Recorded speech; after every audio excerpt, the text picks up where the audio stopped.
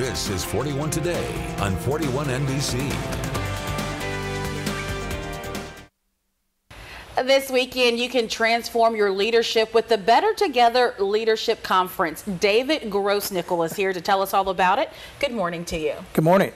Happy to have you. So, what is the Better Together Leadership Conference and who should attend? Well, it's for ages 12 to 80, and it's anybody that leads self. Everybody says, well, I'm not a leader in my business. Um, I'm just a, a, housewife or I'm just a, a, kid on a sports team. But the most important thing we lead is ourselves. So the conference will help us remember the things I can control is what I say, what I think, what I feel, and what I do. And that's it.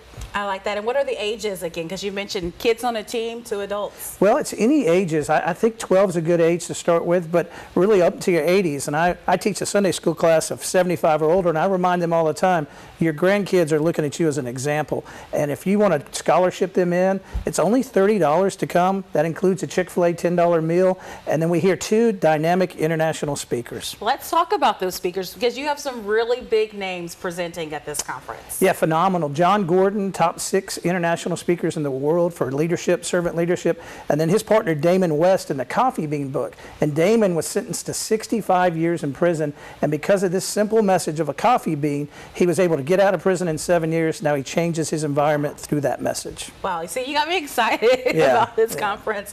I do need to let you know it's this Saturday from 8:30 in the morning until 4 p.m. at the Georgia National Fairgrounds. What do you want people to take away from the conference? Well, the theme is better together. So I can serve myself, but isn't it better when we serve each other? So there's so many things that divide us, whether it's race, culture, religion, but let's come together in a common goal to serve, other, serve others and make our community better. We always talk about doing it, but this is something we can do together. So I think that's the big theme.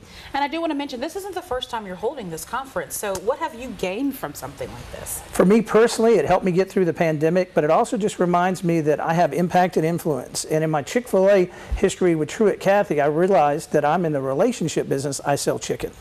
I like that, the relationship business. You already mentioned. Tell us the cost again and how do people sign up?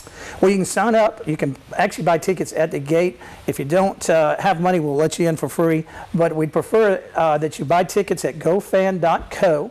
And then also the money that we have, this is a nonprofit, will go to the REACH for Houston County uh, kids that don't have scholarship money. So 10 kids will probably go to college because of some of the funds we donate. I like it. Thank you so much for being with, yeah. with us today. Thank you. All right. The Better Together Servant Leadership Conference again is Saturday at the Georgia National Fairgrounds. To learn more, you can head to our website, 41NBC.com.